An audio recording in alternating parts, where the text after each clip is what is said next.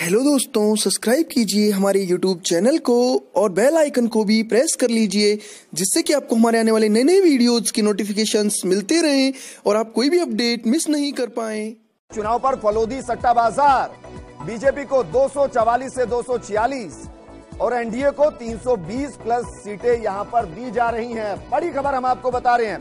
सट्टा बाज़ार क्या कुछ कह रहा है? राजस्थान में बीजेपी को मिल सकती है बीस से 21 सीटें। अब ये 20 से 21 सीटें कौन सी होंगी? ये भी एक एक करके हम आपको बताएँगे। वहीं कांग्रेस को राजस्थान में तीन से चार सीटें मिलने की उम्मीद यहाँ पर जताई जा रही है। ये दरअसल जो आंकलन हम आपको बता रहे हैं, फलोदी सट्टा बाज़ार का आकलन हम आपको बता रहे हैं। और फलोदी के अलावा राजस्थान में कई सट्टा बाज़ार हैं, वो क्या कुछ कह रहे हैं, ये भी हम आपको बताएँगे। इसके अलावा अलग अलग सर्वे क्या कुछ कह रहे हैं, वो भी हम आपको बताएँगे। और उसके बाद फ़र्स्ट इंडिया का महा एग्जिट पोल भी हम आपको दिखाएँगे। यानी कि 23 मई को जो परिणाम आने हैं, उनको रिफ्लेक्ट करती हुई हर वो रिपोर्ट हम आपको दिखाएँगे।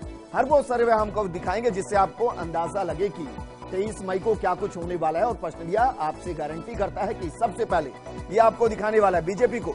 अगर फलोदी सट्टा बाज़ार को माना जाए, वहीं अगली खबर देखते हैं। अगली खबर क्या है? ये जरा देखिए। इलेक्शन ब्रेकिंग पर